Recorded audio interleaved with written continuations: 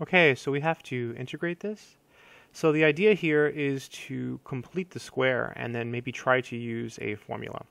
And the reason that you know to try that is because you have a trinomial on the bottom and it doesn't really seem to factor nicely. So it might be a good idea to try to uh, complete the square.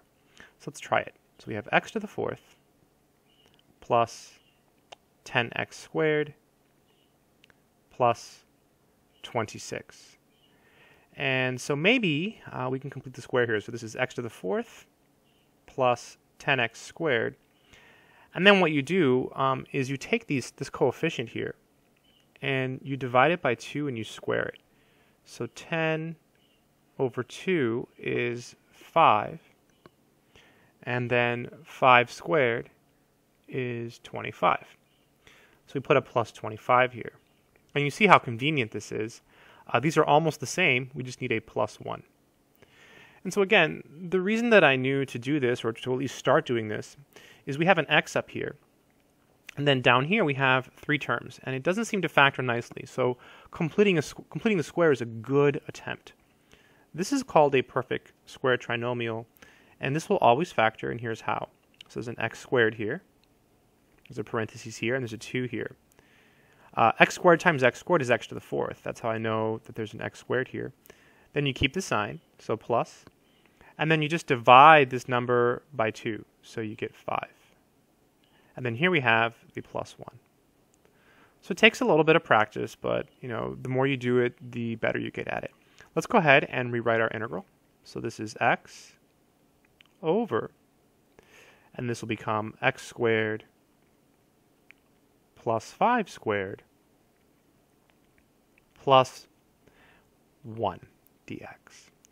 And so now there is a formula, which should be hopefully in the back of your mind. It's if you have 1 over a squared plus x squared dx, this is equal to 1 over a arctangent of x over a and then plus a capital C. So this formula uh, should be able to be applied to what we have here. However, we first need to make a u substitution. So the 1 squared uh, will match the a squared, so a will be 1 in our problem. So let's go ahead and call this piece here, let's call this piece here u. So we'll let u be equal to x squared plus 5 and then that means that du, well, the derivative of x squared plus 5 is just 2x, because the derivative of 5 is 0, dx. And the goal is to make this, the 2x dx, look like what we have in our integral. So we have an x dx in our integral. So let's go ahead and divide both sides by 2. So we can write this as 1 half du equals x dx. And so now we're ready to make our substitution. So x dx can become 1 half du. So we'll pull out the 1 half. Then we have our du. And on the bottom we have u squared plus 1 squared. Okay, so now we can apply the formula, right, really nicely. So this is equal to 1 half, it hangs out, a is 1, so it's 1 over a, so 1 over 1, arctangent of u over 1. So I'll show all the steps. u over 1 plus our constant of integration, capital C. This will be equal to 1 half arctangent, and then u is simply x squared plus 5. So this is x squared plus 5 then we have our capital C.